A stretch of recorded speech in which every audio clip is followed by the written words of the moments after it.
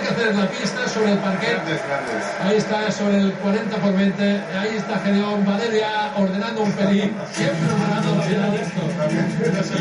Es el momento, está claro. Y ahora van a subir porque hay que vivirlo en directo al ritmo de la música. Ahí está la medalla de oro. Lo anuncian por megafonía en el Palau San Jordi a las 19 y 10 de la tarde de este último domingo, el 27 de enero.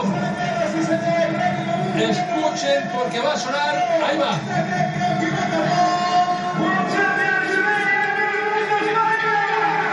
Champions Team, ahí está el equipo de España, campeón del mundo. Esa es la imagen, otra imagen de triunfadores en equipos. Si encontrado un guion mejor que este mundial. Imposible. No hay película, no hay director que pueda hacer este guion. Ahí vemos otra vez al doctor Pinamar acompañando a su Alteza Real, el príncipe Don Felipe. Venimos a escuchar sus declaraciones antes de comenzar esta gran final entre España y Dinamarca. Recuerden, España ganó 35 al 19, tan solo ha marcado 19 goles y ahora su Alteza le va a poner la medalla a cada uno de los integrantes. Es ese momento en que hay que disfrutar, digerir, estar lo más en calma posible. El primero que se la cuelgan es Ariño, el segundo será. El último en llegar es el primero que se lleva la medalla. Exacto. Ya tiene la botella de cava. Ahí está el kilo. Aparecerá a la derecha, fíjense el abrazo del de Boger, el uruguense. Aparece ya el gigantón de 2-10, Ángel Montoro. Y al lado ya a punto de recibir su segunda medalla de oro. Por cierto, la otra, Xavi, hay que devolverla. ¿eh? Sí. La tenemos aquí en el bolsillo. La que ganó en Túnez hace ocho añitos. Nos va muy bien los años postelímpicos, ¿eh? Muy bien, la verdad es que sí. Se acabó Atenas al año siguiente campeones en Túnez. ¿Cómo estarán ahora en Palafrugell, en esas pantallas gigantes que han instalado en la calle para homenajear a esta selección? Ahora, Antonio García, otro grande. Y en las Islas Canarias, ahí con Sarmiento, el gran canario, sí señor, también sobre que hoy jugó menos, pero ha sido el hombre fundamental.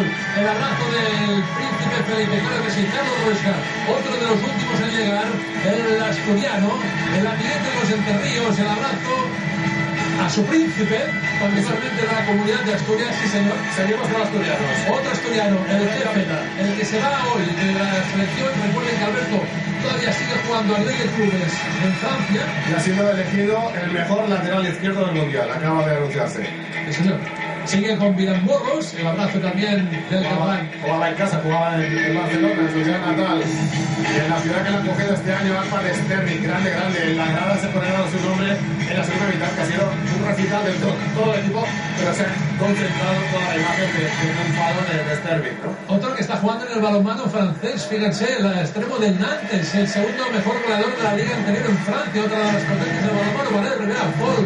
Otro Valero Rivera que hoy para mí se ha hecho catedrático balonmano. ¿eh? El partido que ha hecho junto con sus compañeros al inicio ha sido explosivo y a partir de entonces no ha bajado la guardia. El abrazo con el farmacéutico, el estudiante de la Universidad de Madrid de Farmacia. Aquí vamos a ver, Joan Cañeles dice que el balonmano está muy bien, pero él necesita aprender muchas cosas y le encanta la farmacia. Aquí Maquena, el de los calzoncillos, veremos si da la vuelta. El fan de Barricada, recordemos, y el jugador que ficharía Vicente del Bosque para la selección de fútbol. Señor, Es su héroe. es su ídolo. Y nuestro ídolo es más bajito, es Víctor Tomás, Mediático. el mediático también, el capitán del Barça, uno de los hombres importantes de esa selección. ¿Cómo estará su mujer, que es guardameta de balonmano femenino en Castelldefels, Noruega? Señor, Ege Bolstad, que también está presente aquí en este pabellón, y así nos lo ha confirmado Julen Aguinagalde. Gedeón Guardiola, que le llaman en Alemania, le preguntan si tiene algún parentesco con el Guardiola más famoso, no ese apellido futbolístico, él tiene que decir y desmentir que nada tiene que ver con Pep. Oye, ¿y el de atrás cómo se llama? Es que me suena. Lo tenía por aquí cerca, ¿no? Hace un ratito. Ahí está J. Umbrados, claro que sí, Umbrados. La medalla para Valero, el abrazo del príncipe con Valero también. Otra imagen que nunca olvidaremos. Se lo merece, ¿eh? Siempre dice, ya sé que mi cumpleaños es el 14 de febrero, va a cumplir 60, no lo parece. Pero ese regalo se anticipó bastante. Fíjense, ha llegado por 18 días antes de su aniversario. Mejor por décimo, antes lo decíamos, antes de la, de la gran final que hemos vivido. Manolo Montoya, un gran segundo de lujo, ex entrenador de Camerers, que Valero Rivera se ha llevado por segundo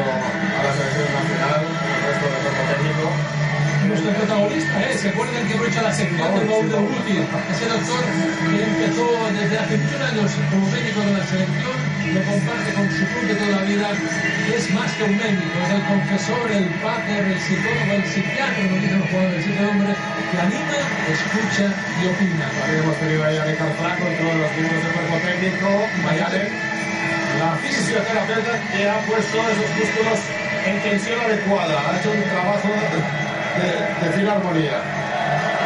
Bueno, todos han estado como campeones durante todo el mundial y se merecían subir a lo más alto del podio. No puede, no puede realmente, es que está hecho polvo. Sí, sí, bueno, que no puede. es que él tenía tanta ilusión de, de jugar este mundial aquí en su ciudad, segunda ciudad, porque lleva tiempo aquí en Barcelona. Lástima de esta lesión en la mano, pero él también se, tiene que sentir campeón. Cristiano Ronaldo, que no podía estar en la selección, estaba convocado y de hecho disputó el torneo domingo más temas el premio del mundial, se lesionó y se tuvo que volver para Hungría para entrenar en su equipo de en el equipo de Antonio Carlos Ortega. Bueno, pues era el momento de la gran foto, Xavi. Ahí está, ahí está. Pensaba que iban a mantener aquí en el podio Alberto Entre Ríos, lo han hecho en la pista, pero de es el saltito típico de ellos, el voto del